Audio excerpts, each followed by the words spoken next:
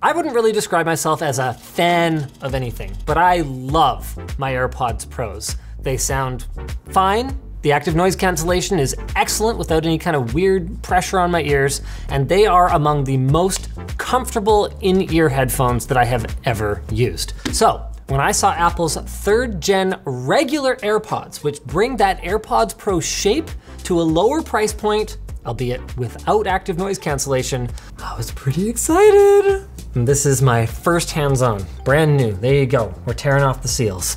AirPods with MagSafe charging case, okay. For headphones, I actually see MagSafe as having more value for me personally than it does for a phone. I don't have a ton of difficulty lining up my phone on a regular Qi charging pad, but every once in a while I do miss with these just because they're so small compared to the normal shape of a charging pad that I could see that being extremely useful. AirPods, thanks. Don't bother telling me what generation I bought or anything like that. Who cares, right?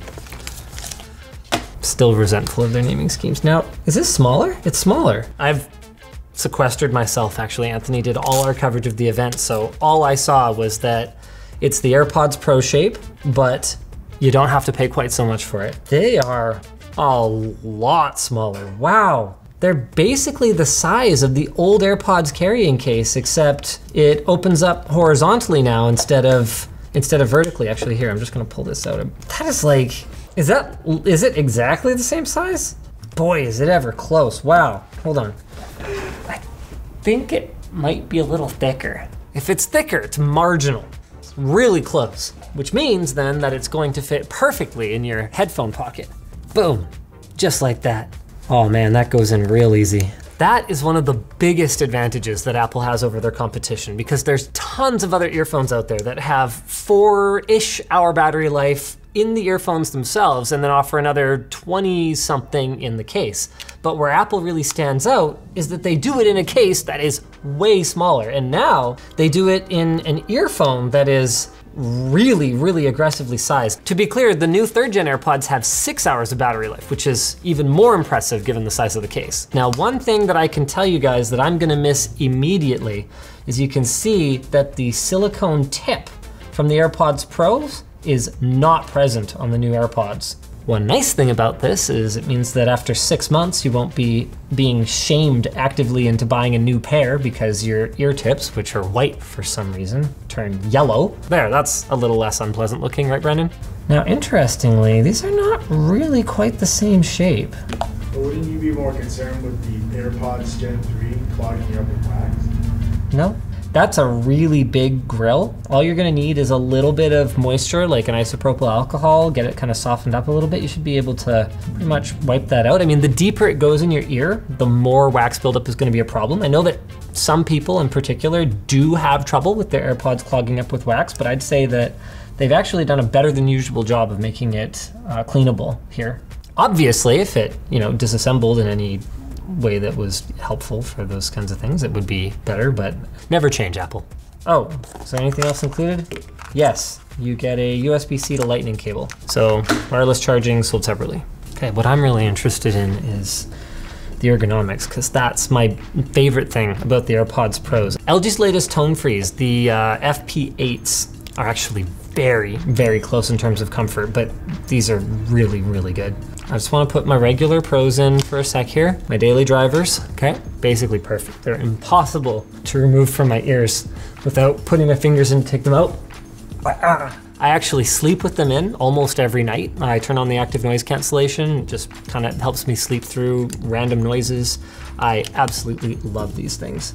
Let's see how much you're giving up for, what is it, 70 bucks? That's the difference in price, I think? Hmm. They're not gonna come out, but you're also not gonna have that snugness that you get from a silicone ear tip. My biggest takeaway, just from putting them in my ears, I haven't even listened to anything yet.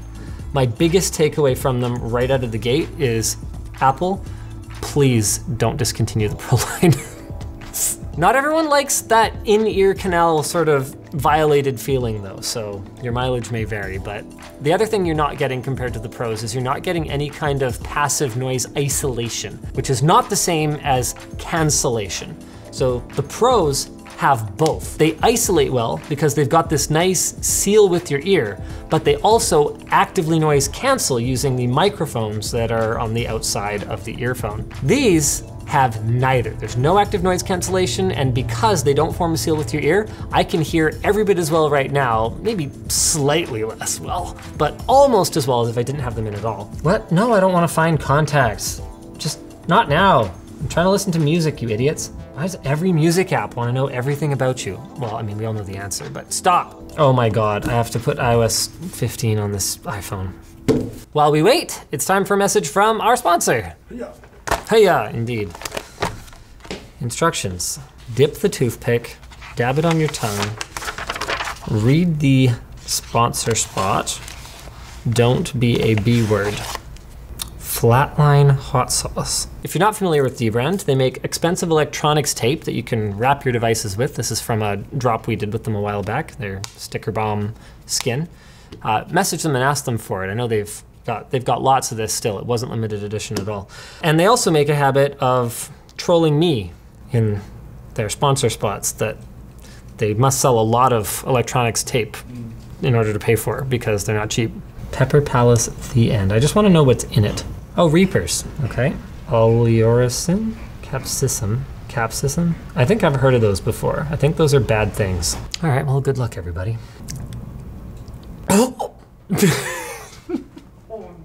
Dbrand, if I end up with hiccups for the entire rest of this video, I'm gonna be pretty pissed off. That's it, Dbrand. You don't get any more talking points than that. Don't like it? Complain to your rep's boss. Oh wait, he don't care. The cold water is so soothing. LTTstore.com, baby. Update's done. We're ready. I'm expecting a super simple pairing process. Connect. Press once to play, pause, twice to skip forward, three times to skip backwards. Here we go. Oh, interesting. Okay, I was not expecting them to make a noise when I put them in my ears because um, that's the, usually the indicator for whether you're turning ANC on and off.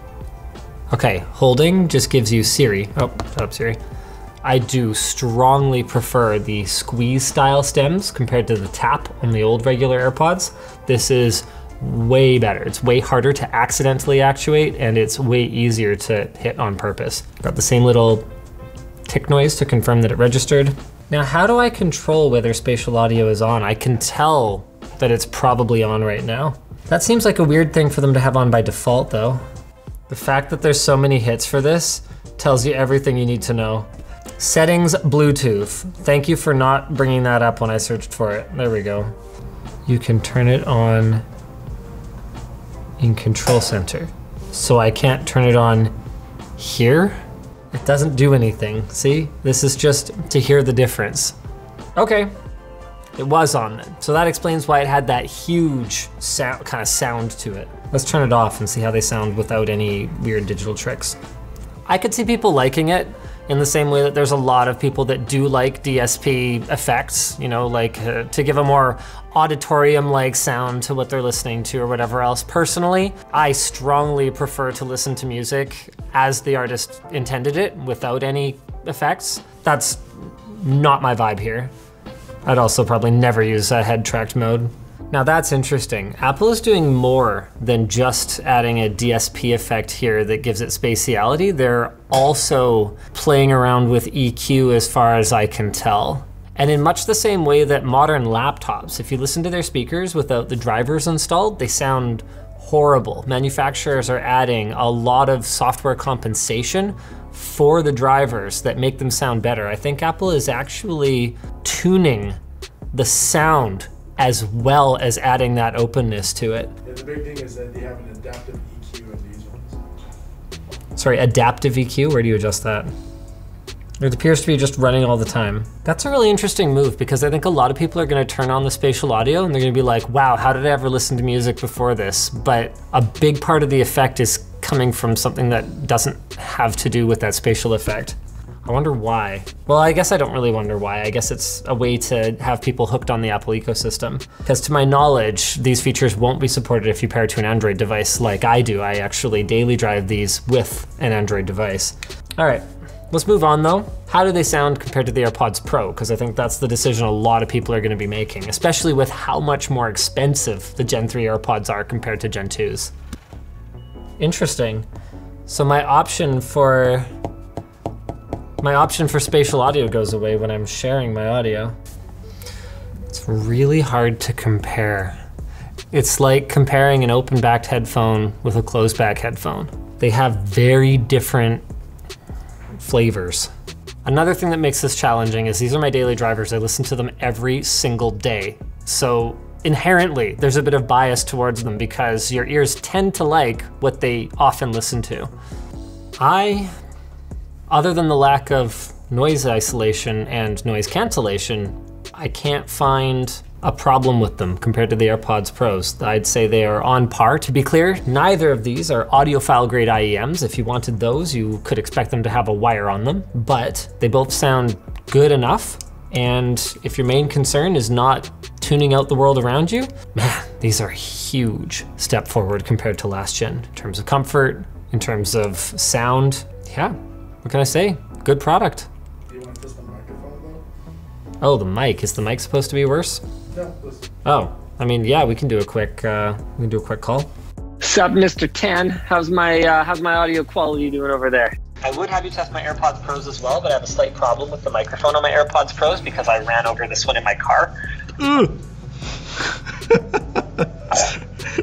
microphone is a little bit. It used to be good.